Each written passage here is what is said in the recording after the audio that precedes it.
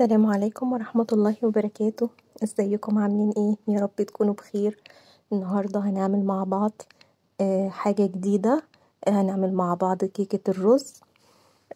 كيكة الرز دي حلوة جدا للناس اللي عندها حساسية القمح. أنا عاملاها لهم مخصوص والناس كمان اللي هم عندهم القولون. الكيكة دي هتبقى كويسة جدا ليهم لأن الكيكة دي مفيهاش جلوتين.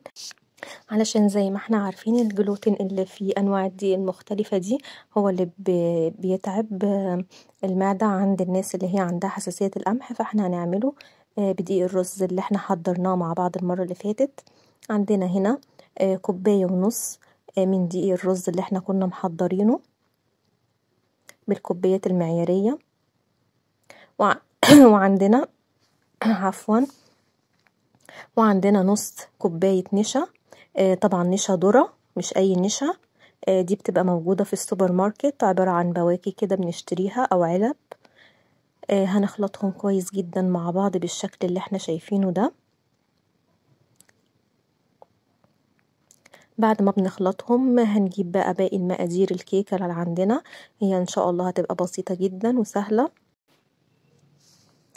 عندنا هنا كوباية سكر نعمل حبيبات. وعندنا كوباية لبن أو ممكن نستبدلها بعصير برتقان للناس اللي عندها حساسية من اللبن وعندنا نص كوباية سمنة على زيت عندنا بشر برتقان أو فانيليا وعندنا بيكو بيكنج باودر وعندنا نص ليمونة وطبعا ثلاث بيضات. أول حاجة إحنا هنحط البيض هنحط الثلاث بيضات. هنحط البيض بالشكل ده. وطبعا مادام حطينا البيض يبقى هنعصر عليه عصرة ليمون. وهننزل بالفانيليا أو بشر البرتقان البشر ده أنا ببقى منشفة البرتقان القشر بتاعه بغسله كويس جدا وبعدين بنشفه وبعدين بطحنه. بستخدمه في أنواع الكيك المختلفة وبستخدمه كمان مع البسكوتات.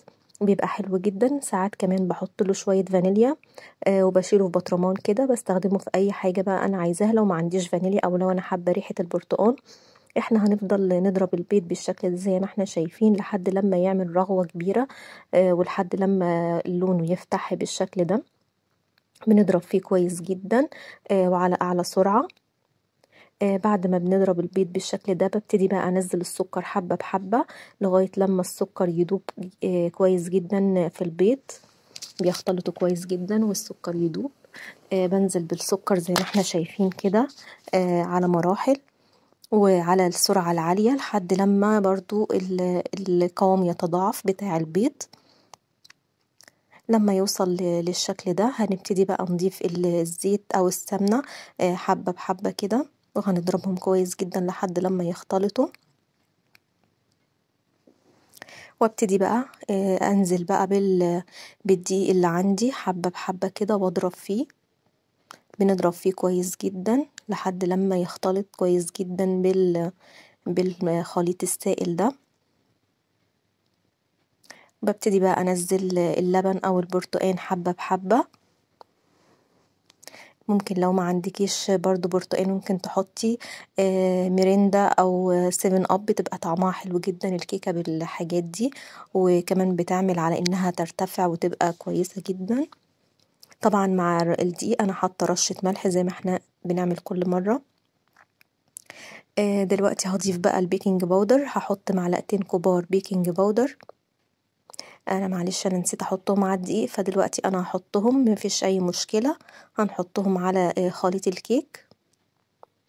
وهنضرب كويس جدا.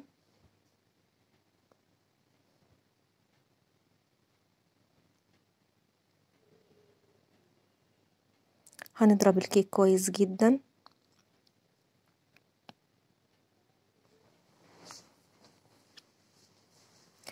خليط الكيك ده بيبقى سايل إلى حد ما يعني ما تقلقوش إن هو سايل كده. أنا هحط باقي اللبن اللي عندي. هي بالظبط كوباية. وهنضرب فيه كويس جدا.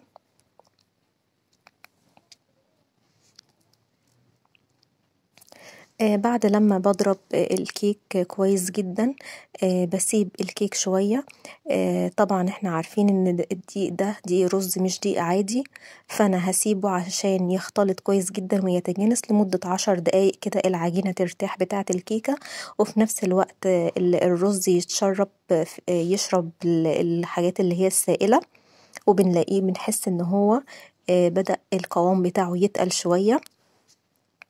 فإحنا بعد ما هنضرب الكيك كدا كويس جدا أنا هبتدي بقي أسيبه عشر دقايق. لأن إحنا زي ما إحنا شايفين القوام بتاعه خفيف. لما بنسيبه لمدة عشر دقايق القوام بتاعه بيتقل هوريكم دلوقتي. دا قوام الكيك بقي قوام الكيك بعد لما سيبته تحسوا إن هو بدأ يعني يتقل الي حد ما. بنقلب فيه كدا بالشكل دا بقلب فيه كويس جدا. وبعدين بقي بحضر صنيه بنكون مدهنينها بسمنة ومبطنينها بالدقيق.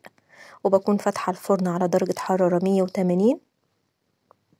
بحط الكيك بالشكل دا وبعدين بدخله الفرن علي درجة حرارة مية وتمانين درجة في الرف اللي هو الوسطاني لحد لما الكيك يستوي. أول ما بيستوي بيطلع ريحته. بعد نص ساعة تحاولي تفتحي الفرن تشوفي الكيكة تختبريها. مش قادرة اقولكم علي ريحة الكيكة كانت ريحتها تحفة جدا. دلوقتي أنا قلبت الكيك علي منخل عندي أو راك أو أي حاجة. وبعد ما بردت بقت بالشكل دا انشاء الله الوصفة دي تعجبكم حلوة جدا والكيكة هشة وبسيطة. وبألف هنا وشفا للناس اللي طبعا الناس دي بتبقي محرومة من الكيك والكلام دا فدي حاجة حلوة هياكلوها. بديل الدقيق اللي هو فيه الجلوتين. يارب الوصفة تعجبكم. لو عجبتكم الوصفة متنسوش بقي like و share و subscribe للقناة. وإن شاء الله أشوفكم علي خير في حلقة جديدة. والسلام عليكم ورحمة الله وبركاته.